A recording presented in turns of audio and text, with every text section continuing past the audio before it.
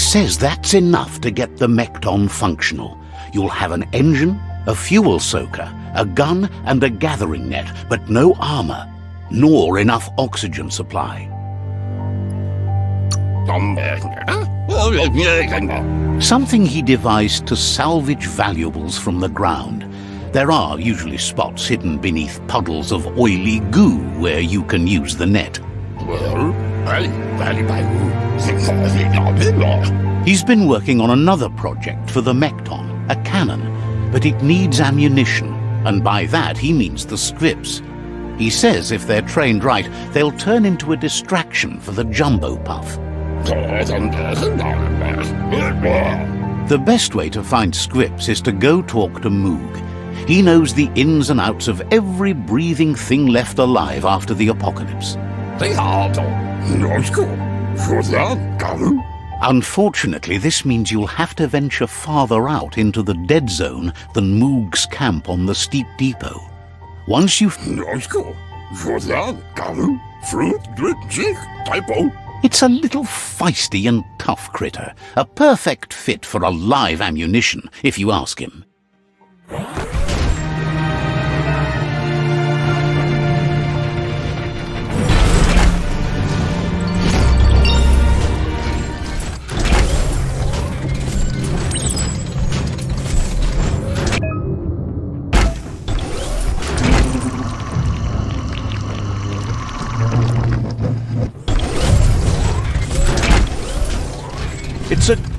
Glory shiny day out here.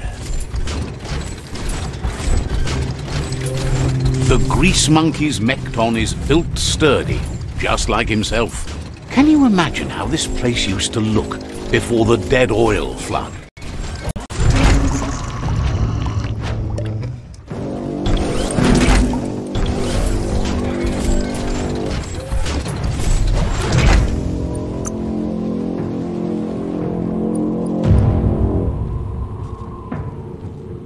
Got the moves.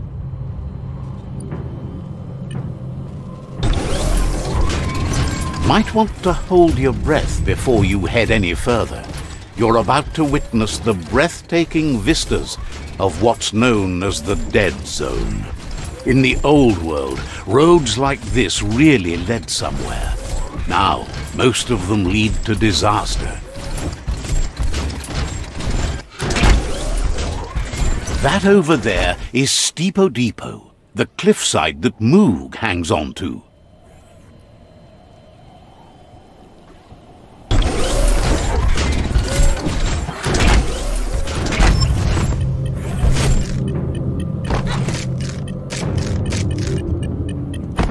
Grab on tight. Bolsi. Inmo. Tiava. Warnianda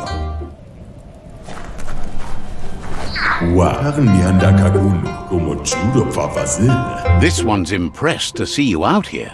He figured you'd be dead by now. Not many are as tough and clever as you must be. Says a monster hunter hears many things on the wind. Moog says that all your power doesn't do you a bit of good if you're not willing to pull the trigger when the time comes. Sam. Choosing what to kill and what to spare are the most important decisions you'll make. You might have a steady aim, but you need to be sure that you pick your targets with care. Waxa donane yapon. Yama fore dome da hunga. It's hard to make those life or death decisions for others, but someone's got to do it. Otherwise, they'll do it themselves, and you know they'll miss. Sem. Claims he mostly kills whoever he doesn't like. Si logo partinea farish. Ralivach Cairo. Says it's wild that the world seems to be coming back, but he supposes that means more monsters for him to shoot. Fela. Wonders why you work so hard to keep things alive. Bullets help thin the herd instead. Kukakwana. Dana undisa. Says you should give up on working with the stubborn myriad. He keeps trying to put out their lights and they keep putting up new ones. Says they keep the monsters away. He needs them closer, not farther. But enough of that, right? Mashaku hirsame. Munteo mastula. He says the wildlife, nature, has changed and turned against us. Instincts of survival took over when the world changed. He's not sure about their veggie diet anymore, and if it's changed, who knows what it's done with the chemical composition of their body output. Yabiata. Hose eskuku Johanna. Right now, though, he feels he's come to a point where he's got a pretty clear idea on the whereabouts of monsters, both tall and short. Says as big as they are, the world is bigger. To find where they are, you need to see where they've been. Moog says you must learn to walk before you can run. It takes practice before you can call yourself a monster hunter. Fortunately for you, he can help. He understands you need to start off with something small before you go big. I arin kasumai. Je intan kakuru. There's no better place to start than a squip cave. Hunting down a couple of these little critters for yourself should keep you on your toes. Says it's not far at all. Fortunately for you, the squips seem to have acclimatized themselves to the otherwise uninhabitable dead zone.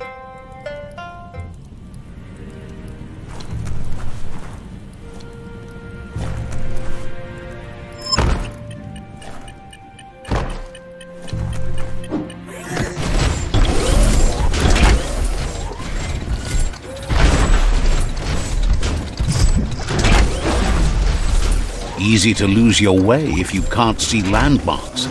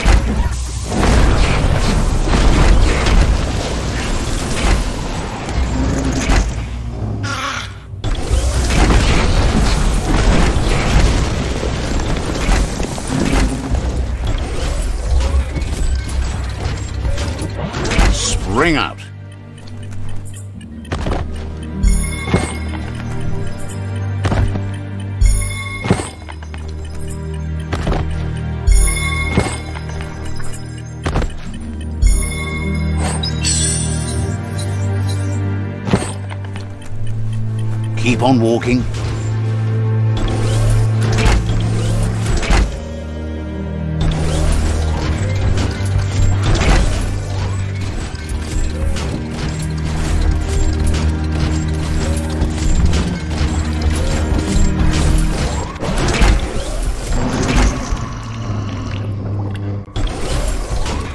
Wait, it's the Scrip hole-up.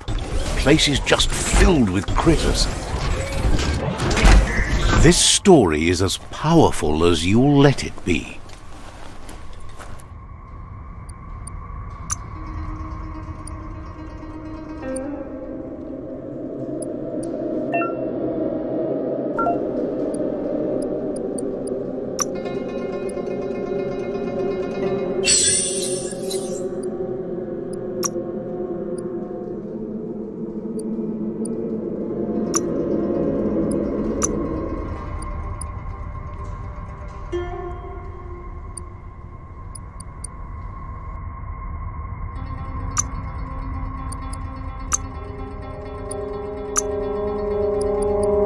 You need more scrap to make that work.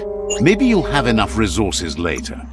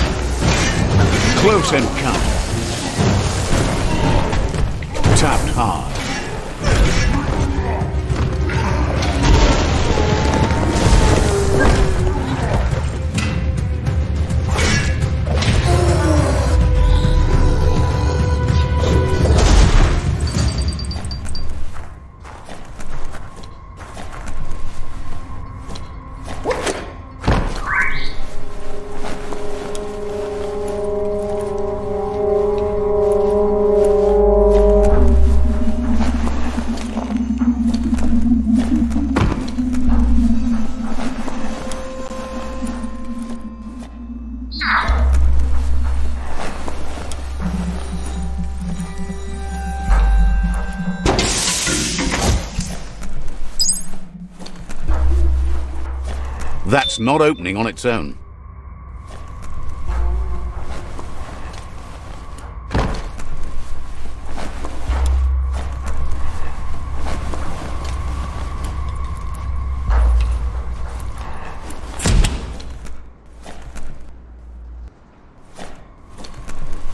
Once the volatilization from the nuclear waste evaporated, a volatile gas rose through the soil and infested structures, even Toxanol's own buildings. So, in a way, they caused their own death.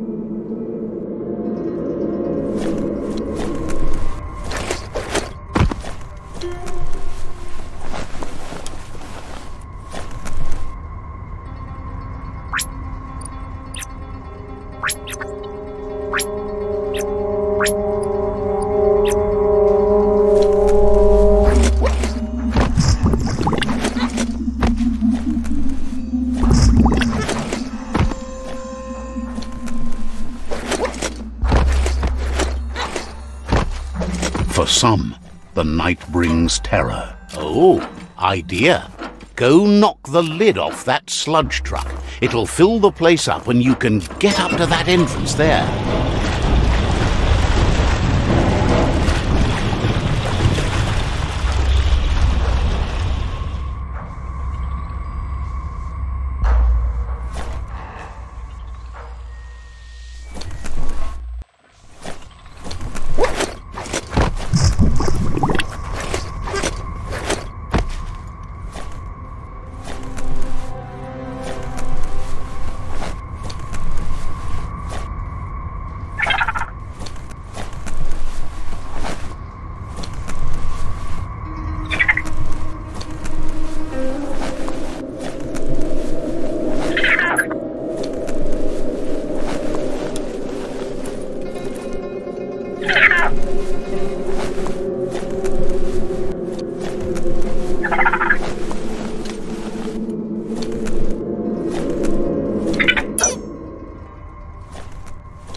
You're a mighty hunter.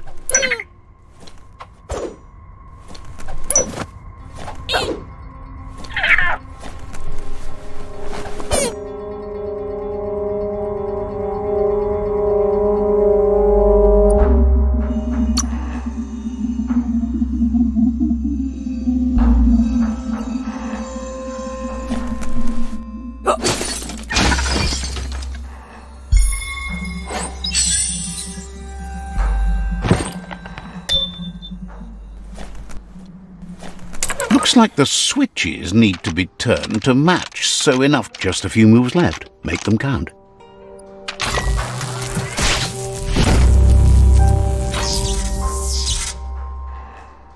Good. That's enough electric current to initiate the actuators and activate the framework.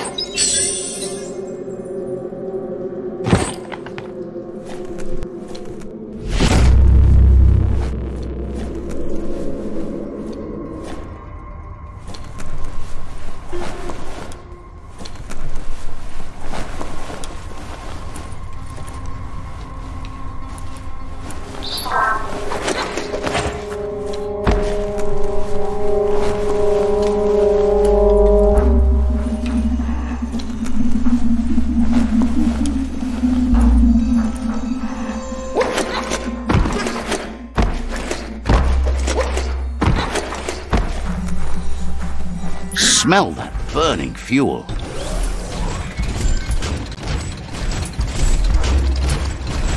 Are your lungs aching?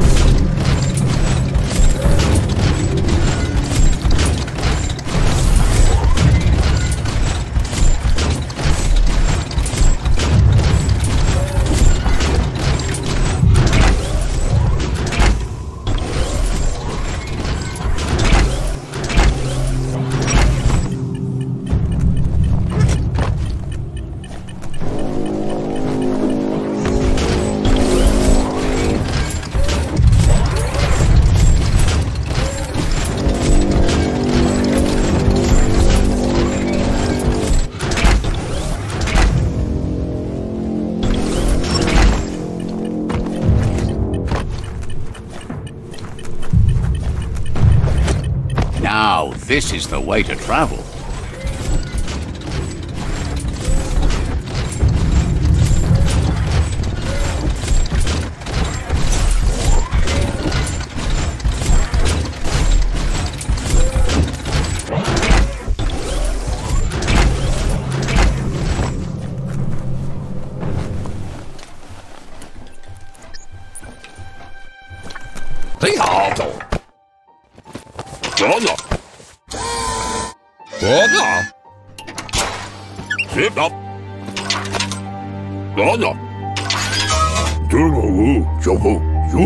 He says that's enough scripts to sustain the Mekton's claw crane cannon with infinite ammunition. Well done.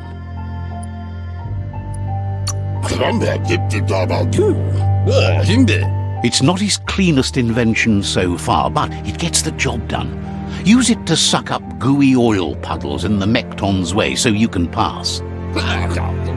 Gizmo's made vehicles before to confront the Jumbo Puff himself, but failed. But this time, it's different. The Mekton will be strong enough to do the job.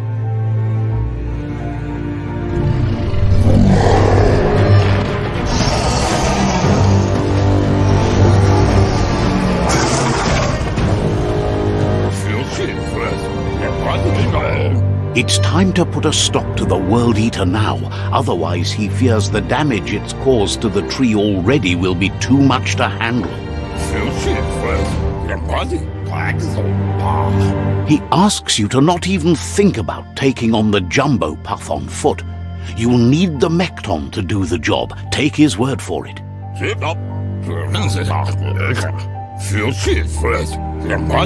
There's time to improve the Mekton before you confront the Puff. There are more wreck boxes out in the dead zone with gear you should be able to equip the Mekton with on your own.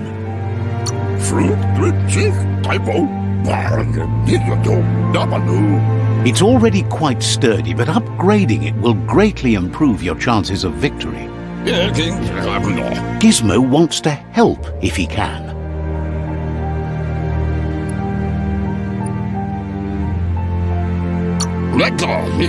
You need to help Gizmo defeat the Jumbo Puff before it destroys the West Route. You should go see the Ankati tribe. Their Hightower headquarter is a sight to behold. Says you should take it easy. Gizmo wants to help if he can. Understands completely.